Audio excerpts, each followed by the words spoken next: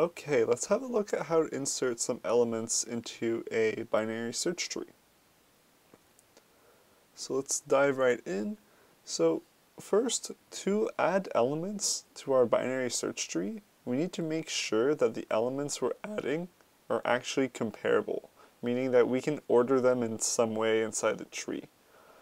Meaning at every step, we know whether we need to place the element in the left subtree or the right subtree. And we're going to encounter essentially four cases. So when inserting an element, we want to compare the value to the value of the current node we're considering to do one of the following things.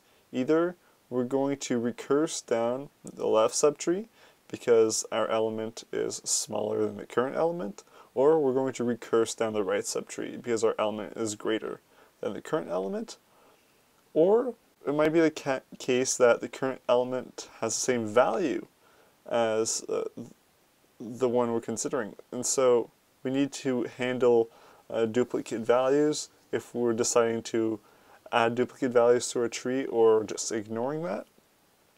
And lastly, we have the case that we've hit a null node, in which case it's time to create a new node and insert it in our tree. Let's look at some animation now. So on the left, I have a bunch of insert instructions. So we have all these values we want to insert into our binary search tree. And currently the search tree, or the binary search tree is empty. So first we want to insert 7. So 7 becomes the root of the tree because it's the first node. Next, we want to insert 20. So 20 is greater than 7, so we insert it to the right. Next, we want to insert 5. So we always start at the root when we're inserting, that's an important point. So you start at the root and then you move your way down the tree to figure out where you want to insert the node. So we start at the root and then we're like, oh, 5 is less than 7, so we're going to insert it to the left. Now 15, start the root, go to the right because 15 is greater than 7, then to the left because 15 is less than 20. Now 10. Now 4, so 4 is less than 7, move left, 4 is less than 5, move left, create the new node. Now we have 4 again, so let's see what happens here.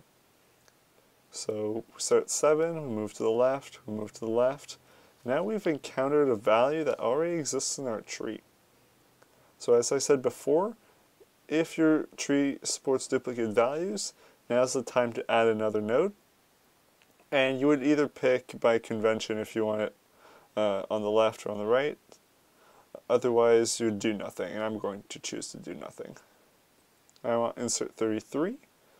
So start the root, go to the right because 33 is greater, go to the right again. Now insert 2. So 2 is smaller than everything in our tree, so it would go all the way to the left. Now try and see where 25 would go. So 25 is going to go to the right, then we're going to go to the right again because it's greater than 20, but we're going to go left now because it's less than 33. And finally 6, so once left, once right, and we've inserted everything into our binary search tree. So on average, the insertion time is going to be logarithmic, but in the worst case, this behavior could degrade to linear time. Let's have a look at that.